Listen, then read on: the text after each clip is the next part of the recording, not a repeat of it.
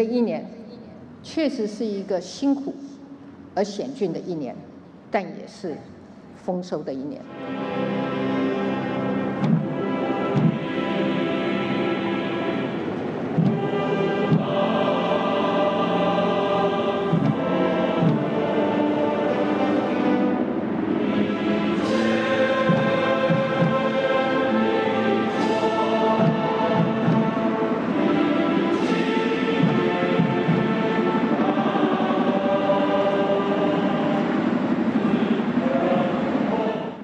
通过应应应应疫情的挑战，我们证明了国家在逆境中的生存能力，建立了国民自信。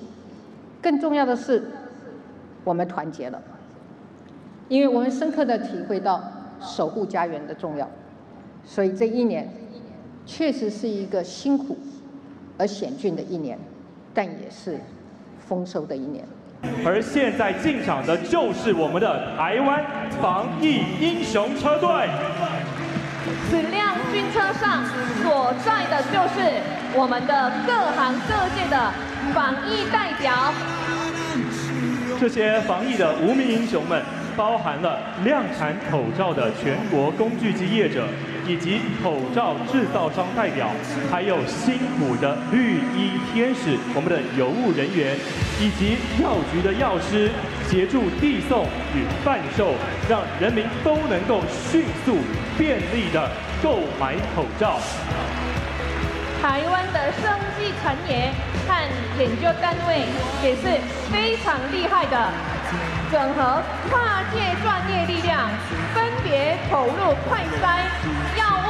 以及疫苗开发。现在车队已经来到主席台前了，请大家给他们最热烈的欢呼。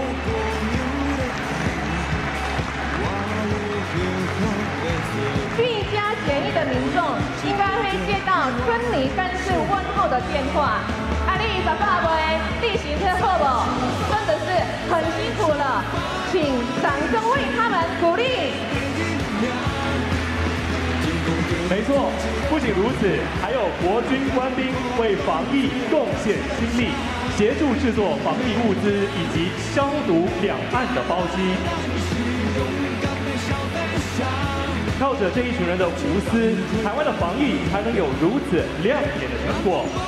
台湾的疫情不但得到了最好的控制，我们的成功更受到世界各国的肯定。我们要让大家看见，不只是台湾 can help，更是台湾 helping。感谢你们共心一己之力，大家恭喜台湾的英雄。我们再次以热烈的掌声感谢他们。时报遍布全球，不受财团、政党影响，真实感言。